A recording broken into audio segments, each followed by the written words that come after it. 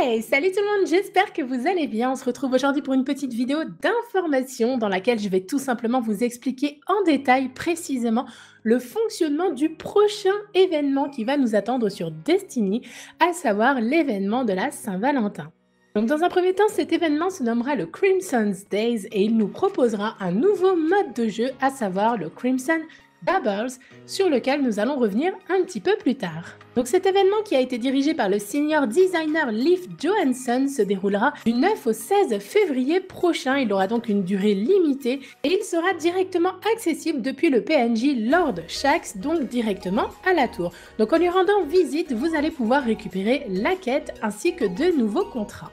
À l'occasion de cet événement, vous verrez bien évidemment la tour qui sera entièrement redécorée, mais ce sera aussi l'occasion de récupérer quelques récompenses, loot et différents emblèmes.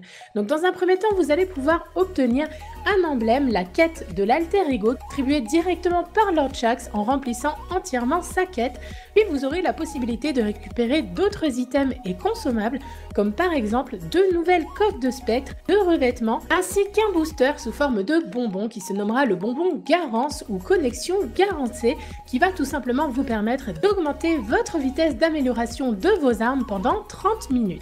Alors il faut savoir au passage qu'il y aura de nouvelles émotes qui seront disponibles directement depuis Tess Evris, la vendeuse d'Eververse, à savoir que ces émotes seront logiquement payantes et d'une durée limitée au niveau de leurs achats. Donc il y aura de nouvelles danses, de nouvelles émotes qui resteront cependant et évidemment dans votre inventaire une fois l'événement terminé. On va maintenant pouvoir parler du nouveau mode de jeu en détail. Donc il faut savoir que c'est un mode de jeu en escouade, vous ne pourrez pas le lancer en matchmaking.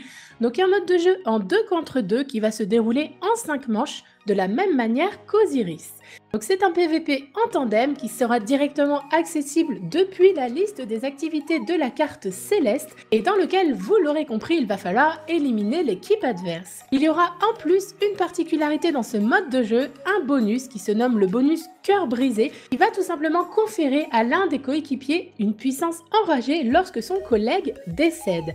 Donc cette puissance va lui permettre d'améliorer 4 points, à savoir ses déplacements qui seront plus rapides, sa récupération qui sera également plus rapide, il aura un bonus d'agilité sur son personnage et pour finir un bonus de dextérité et de rapidité dans le maniement de ses armes. Le même bonus qui disparaîtra immédiatement si le joueur qui en bénéficie réanime son coéquipier qui est tombé au combat. Et voilà, j'ai donc fait le tour de ce nouvel événement joueur contre joueur, donc un mode uniquement PVP, vous l'aurez compris. Petite déception pour tous les joueurs qui s'attendaient bien évidemment à tomber sur une multitude de quêtes auprès des différentes PNJ à la tour, donc finalement une news un petit peu limitée. En revanche, si cela peut vous rassurer, vous réconforter, sachez qu'à la fin de la Bungie Weekly Update d'hier soir, une révélation nous a été faite dans laquelle apparemment d'autres révélations à venir seraient annoncées lors de la news du 4 prochain. Et enfin, dernière info, on ne sait pas s'il va falloir officialiser un lien entre les deux coéquipiers qui vont se lancer dans l'aventure du Crimson Double. Si tel est le cas, je vous mettrai bien évidemment le lien de la page sur laquelle vous devrez vous lier dans la barre d'infos. Si vous avez kiffé cette vidéo, n'hésitez pas à lâcher un petit like. D'ici là, je vous souhaite bon jeu à tous, profitez bien, amusez-vous et prenez soin de vous. Ciao tout le monde